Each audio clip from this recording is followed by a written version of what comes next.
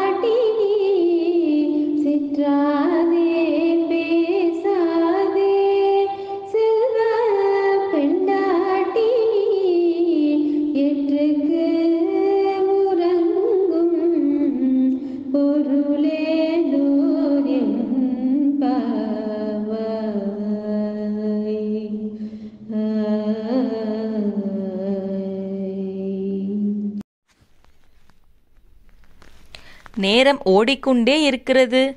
தோழியோ எழுந்து வந்த பாடில்லை. நாமாக இருந்தால் என்ன செய்திருப்போம்? அவளை விட்டுவிட்டு நீராட சென்றிருப்போம். ஆனால் பக்தி நெறிக்கு இது அழகல்ல. பிறரை விட்டுவிட்டு தான் மட்டும் இறைவனை அடைய முயன்றால் அது நடக்காத ஒன்று. எல்லோருமாய் இறைவனை நாட வேண்டும். அவன் புகழ் பேச வேண்டும். அப்போதுதான் அவன் அருள் கிடைக்கும். இதனால்தான் கூட்டு பிரார்த்தனைக்கு மகத்துவம் அதிகமாக இருக்கிறது. விளக்கம். துயிலடை பாசுரங்கள் ஒவ்வொன்றிலும் உள்ளே உறங்குகிற பெண்ணுடைய தன்மைகளை கூறி எழுப்பிக் கொண்டு வருகிறார்கள் என்பது வெளிப்படை. இவ்வகையில் இந்த பாசுரத்திலும் உள்ளே இருப்பவளின் பெருமைகள் கூறப்படுகின்றன. இவளுடைய இல்லத்தில் நிறைய மாடுகள் இவளுடைய வீட்டின் கோபாலர்கள் பகைவர்களோடு திறம்பட போரிடக்கூடியவர்கள். இவை மட்டுமன்றி எவ்வித குற்றமும் இல்லாதவர்கள். இப்படிப்பட்ட செல்வம் நிறை குடும்பத்தை சேர்ந்தவள் பொற்கொடி போலும் அழகானவள் புற்றிலிருக்கும் பாம்பின் படம் போன்ற இடைப்பகுதியை கொண்டவள் மயிலின் சாயலால் செல்வம் மிக்க பெண் பிள்ளாய் எழுந்துவா என்று அழைக்கிறார்கள். அண்டை அசலில் இருக்கும் தோழிப் பெண்கள் அனைவரும் வந்துவிட்டோம். உன் இல்லத்தின் முற்றத்தில் நின்று மேக நிறத்தவனான கண்ணனின் பெருமைகளை பாடுகிறோம். இவ்வளவு இருந்தும் நீ அசையாமலும் விடை பகராமலும் உறங்குகிறாயே இது நியாயமா என்று வினவுகிறார்கள். தத்துவ விளக்கம். இந்த பாசுரத்தில் மற்றொரு கோபிகையை எழுப்ப ஆண்டாள் கோபிகைகளுடன் சேர்ந்து செல்கிறாள். இந்த பெண் மிகுந்த செல்வம் படைத்த ஒரு கோபாலனின் பெண். இவர்கள் வீட்டில் கன்றுடன் கூடிய பசுக்கூட்டங்கள் நிறைய இருக்கிறதாம். பசுக்களை எண்ணி சொல்வது இருக்க இவர்கள் வீட்டில் பசு கூட்டங்களையே எண்ணி பார்க்க முடியாதாம். அவ்வளவு பசுக்கள் கற்றுக்கறவை என்ற பதத்தில் சிறிய கன்றாக இருக்கும்போதே கன்றை ஈன்று பால் சுரக்க ஆரம்பித்துவிட்ட பசுக்கள் என்றும் அர்த்தங்களை பூர்வாசாரியர்கள் அருளியிருக்கிறார்கள். இந்த பெண்ணின் தகப்பனார் இவ்வளவு பசுக்கள் இருக்கிறதே என்று சிறிதும் ஆயாசப்படாமல் தமக்கு தேவையானது போக மீதமுள்ள பசுக்களையும் அவைகள் மடியில் பால் கட்டி துன்பப்படாமல் இருப்பதற்காக பாலை கறந்து விடுவாராம். அதோடு மட்டுமல்ல அவர் இந்த திருவாய்ப்பாடிக்கும் கண்ணனுக்கும் எதிரிகளாயிருப்பவர்களை அவர்கள் பலத்தை அழித்து அவர்களை குன்றிப்போக செய்து விடுவாராம். அத்தகைய எதிரிகள் இருக்கும் இடத்திற்கே சென்று அவர்களை அடக்கி விடுவாராம். தானுண்டு தன் வேலையுண்டு என்று பால் கருக்கும் இடையருக்கு ஏது எதிரி என்றால் கண்ணனுக்கு யாரெல்லாம் எதிரியோ அவர்களே இவர்களுக்கும் எதிரிகள். கண்ணனுக்கு என்ன? ஒரு எதிரியா? இரண்டு எதிரியா? எவ்வளவோ அசுரர்கள். அதனால் இன்னார் என்று சொல்லாமல் செற்றார் என்று பொதுவாக சொல்லுகிறாள் ஆண்டாள். இந்த கோபாலர் தம் கடமையில் கர்ம யோகியைப் போல் கண்ணாயிருப்பார். வர்ணாசிரம தர்மங்களை கடைபிடிப்பவர் நல்ல அனுஷ்டானத்தை கொண்டவர். கண்ணனுக்கு எதிரிகள் இருப்பரேல் அவர்கள் இருப்பிடத்திற்கே சென்று அவருடன் போரிடக்கூடியவராய் பலமும் தைரியமும் மிகுந்தவர். அதோடு எதிரிகள் திரளழிந்த பின் அதாவது அவர்கள் கையுள் ஆயுதத்தை இழந்து நிராயுத பாணியாக நின்றுவிட்டால் அவர்களை எதுவும் செய்வது இல்லை. திறன் இருக்கிற எதிரியுடன் மோதி அவன் திறனை அழிக்கக்கூடிய சாமர்த்தியம் உள்ளவர். ஞான பல ஐஸ்வர்ய சித்திகளை பெற்றவர். அப்படிப்பட்ட குற்றமே இல்லாத கோவலர் இடையர் வீட்டில் பொற்கொடியாக பிறந்தவளே என்று அழைக்கிறாள் ஆண்டாள். அடுத்து புற்றரவல்குள் புனமயிலே போதராய் என்கிறாள்.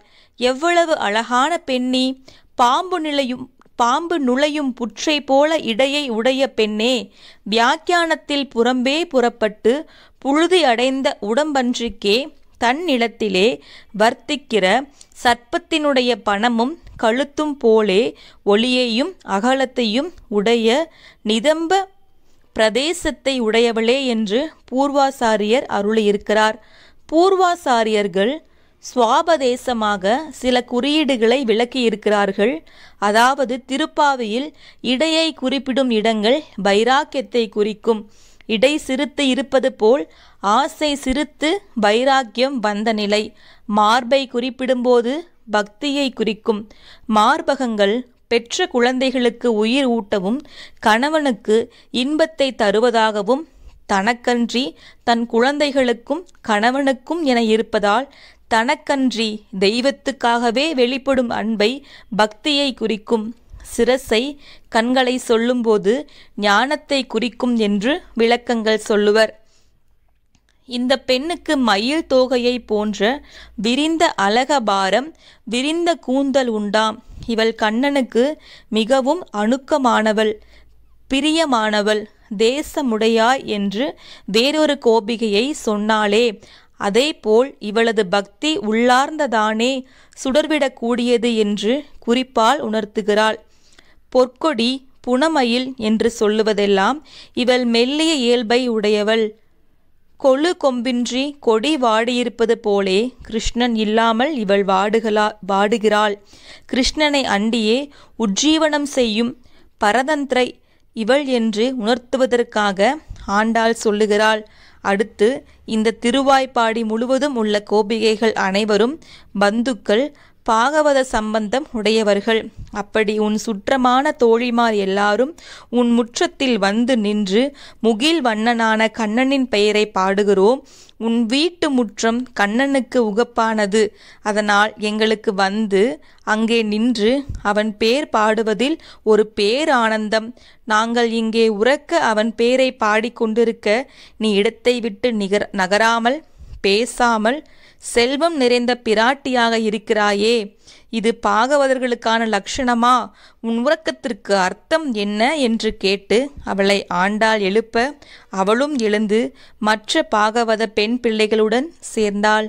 நன்றி. ஸ்ரீ ஆண்டாள் திருவடிகளே சரணம்.